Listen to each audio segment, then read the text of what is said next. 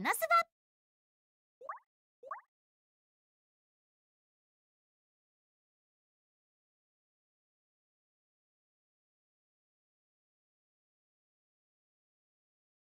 バメルと言ったかしら？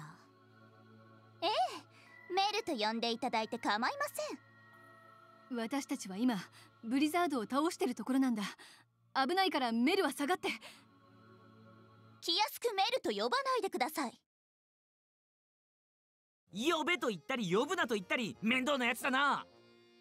とにかく私が命じます。今すぐブリザードたちをいじめるのをおやめなさい。初対面のくせにこいつ偉そうだな。まあまあ子供はこれくらい元気な方がいいわよ。というかどうして子供がこんな場所に？いいから今すぐブリザードたちをいじめるのをおやめはいはいはい！ち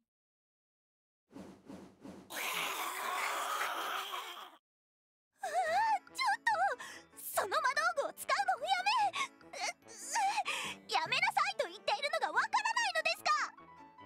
ブリザードの吹雪のせいで寒波が起きてんだよ。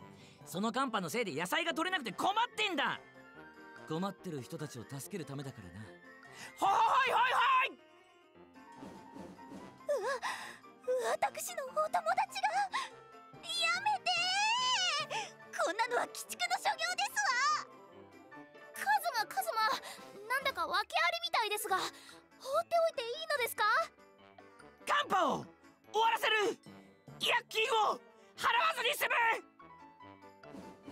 今のカズマに何を言っても無駄よめぐみ。すっかり周りが見えなくなっちゃってるものすごい。あれほどいたブリザードの大軍がものの見事に全滅したな。カズマもう十分だ。これ以上熱波を作り出すと。はいはいはいはいん？なんだこの地響きは？ななななだれだみんなすぐに避難して。この場を離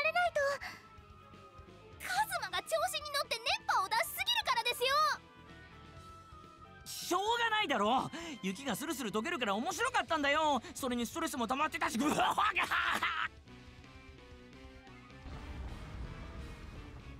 カズマカズマです。すみません。雪崩に巻き込まれて不慮の事故ってやつです。そうでしょうか。半分は自業自得に思えるのですが魔道具をあんなに振り回したりするから。はい。確かにちょっと調子に乗ってたかもしれません。それに雷の精霊まで現れて大変なことになっていますね。雷の精霊ってメルとかいうやつのことですか？あいつ精霊だったのかよ。一見しただけでは分かりませんよね。あの雷の精霊は冬将軍と同じく転生者がイメージした姿なんです。雷を操るといえば女の子の姿でついでにセクシーな格好であるべきだとか。ああでまたこの展開か！メルさんは精霊の飛躍で倒れたブリザードを次々と復活させているようです。いたずらばかりする精霊だったので封印されていたのですが最近になってその封印が解かれてしまったようで。封印？ちなみに封印されていたのはウォルム山の氷の中です。非常に強い衝撃によって封印が解かれたとか。ウォルム山ってあのウォルム山？ヤールングレープルがあった場所ですよね。いやちょっと待ってください。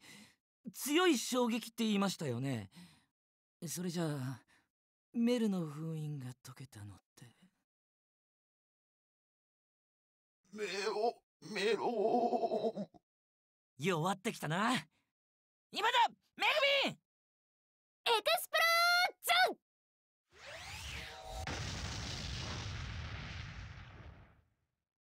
ン！まさかあの時の爆裂魔法のせいで封印が？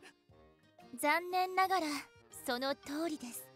封印が解けたばかりで精神的にも不安定なんでしょう封印を解いたんですし責任を取って面倒を見てあげてくださいね。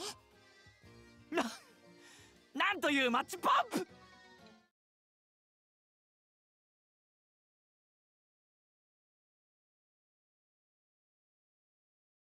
カズマいるなら返事をしてください。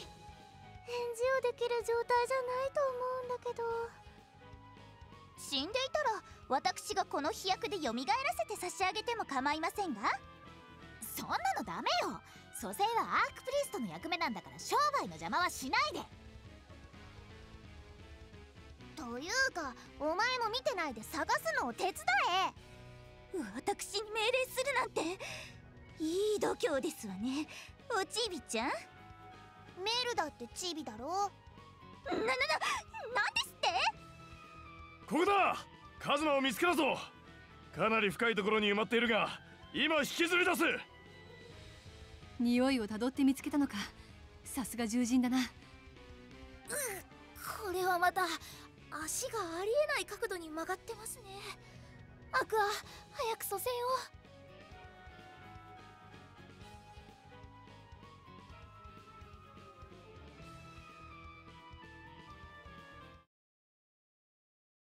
このスバ。キャラエピソードとこのスバストーリーはキャラとの絆を深めると解放されます。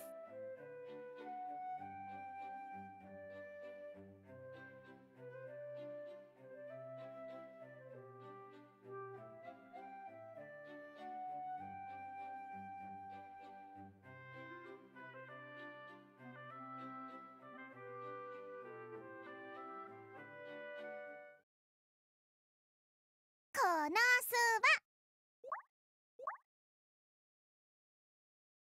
寒波も収まったしこれで寒い道も安泰だなみんな本当にありがとう野菜が取れたらお礼にプレゼントするからね何事もなく綺麗に解決したみたいに言ってるけど俺は一度死んだんだからな一回死んだくらいで何を言ってるのよリザレクションで蘇るなんていつものことじゃない。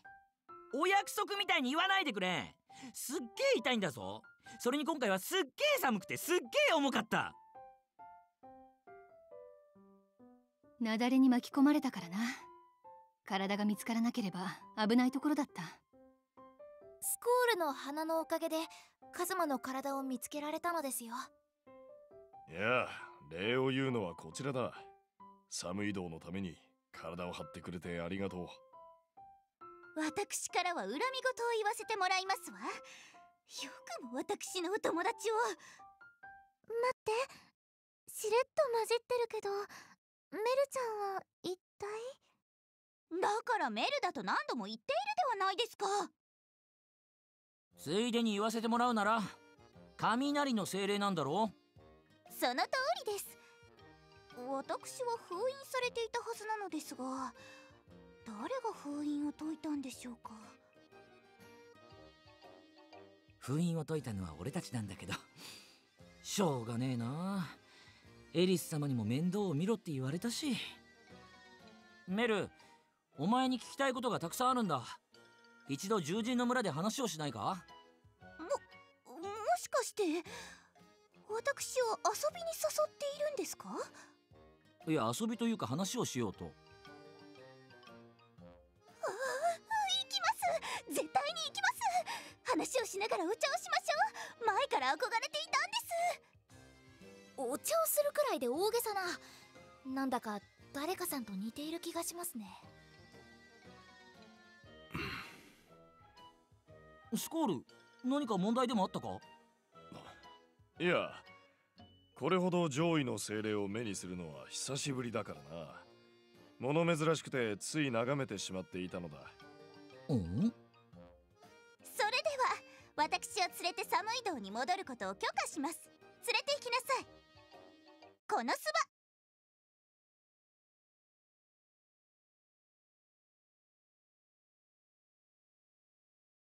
紅茶が入ったぞ。ミルクは必要か？供扱いしないでください。ミルクは必要です。どっちだよ。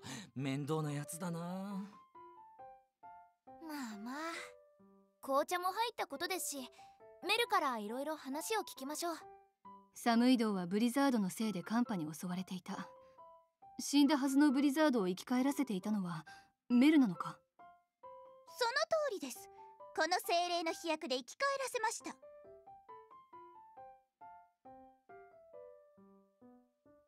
希少な飛躍だというのにこれほど無駄遣いしてほとんど残っていないが大丈夫なのか？知りませんわ。そもそもこれは私が生まれた時から持ってた小瓶なのでどうやって作ってたかもわかりません。そもそもどうしてブリザードを蘇らせたりしたんだ？それはお友達が欲しかったのです。目が覚めたら一人ぼっちでした。私の知り合いが誰もいない世界でとても孤独でした。だからモンスターを生き返らせて友達になってもらおうとしたんです。だからってトカゲはないんじゃない？全然可愛いと思えないし友達は選ぶべきよ。封印が解かれてから最初に蘇らせたモンスターがあまりにもいやとんでもなく可愛くなくて。それに比べればトカゲでもいいかなという気持ちになっていました。それにしてもメルは誰にどんな理由で封印されていたのだ？それは私には知る由もございません。封印の罠にはまり相手の顔すら見ておりませんので。雷の精霊は元来いたずら好きが多いと聞くそのいたずらで周囲に迷惑を働いたから封印されたのではないか。なんだ珍しいな。寝起き以外は温厚なスコールが随分きつめの言い方を。めっそうもありませんわ。私は確かにいたずら好きですけどお友達作りのためのささやかないたずらしかいたしません。例えば肘のしびれるところを延々と叩いたり嫌がる相手に電気マッサージをしたりあとちょっと雷を落としたり。いやお前もう一回封印されとけよ。落雷は死ぬぞ。しかし封印が今になって解けたのはなぜなのでしょう。それは誰かさんの爆裂魔法のおかげだ。メルはウォルム山に封印されててダニエルとやり合った時の爆裂魔法で封印が解けたんだろうな。ちょっとお待ちください。急すぎて頭が混乱して。つまり私の封印を解いたのは？俺たちだよ。もうちょっと具体的に言うとそこの爆裂娘だ。うん。復活したばかりで頼れる者もおらず不安だろう。カズマここはしばらく我々でメルの面倒を見ることにしないか？そうだな。俺たちも無関係ってわけじゃないし。特にメグミンはよく面倒を見るんだぞ。仕方ありません。善処しましょう。皆様にはこの私の面倒を見る権利を差し上げますわ。二日ものですがよろしくお願いします。丁寧なのか乱暴なのかどっちかにしろよ。俺はビニールハウスの様子を見てくるからスコールから面倒を見ると言い出すなんて意外だったな。けどいたずら好きの雷の精霊か。面倒を見れるか不安だ。